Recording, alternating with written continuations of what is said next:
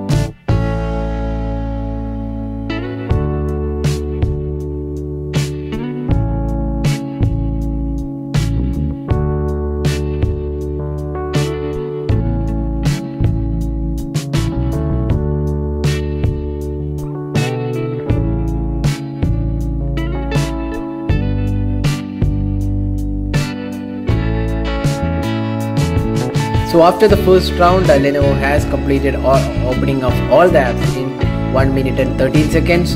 So let's wait for the Honor 6X to finish that. So now you can see that uh, Honor 6X has completed the round 1 in 1 minute and 26 seconds. It is uh, slightly slower than uh, uh, the Lenovo K8 Note which is quite acceptable because it's a Deca core processor. It's a really powerful chipset the X23 while uh, the Kirin 655 is again a quite good chipset. Now let's wait for the final results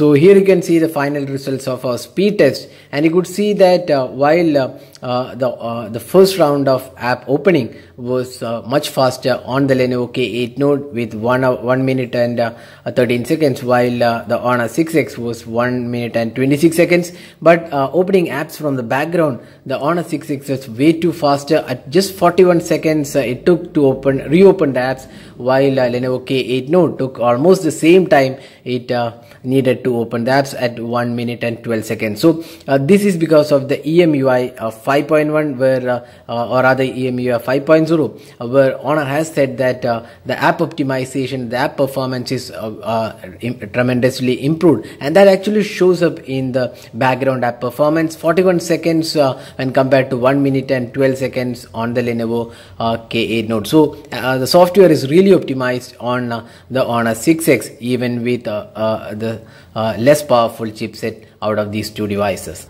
Now let's have a look at uh, which device has the uh, fastest uh, fingerprint scanner. Both the devices have fingerprint scanners located on the rear panel. Now we'll do a quick uh, test uh, uh, to see which device is the fastest out of these two in terms of the fingerprint scanner experience. So there you go.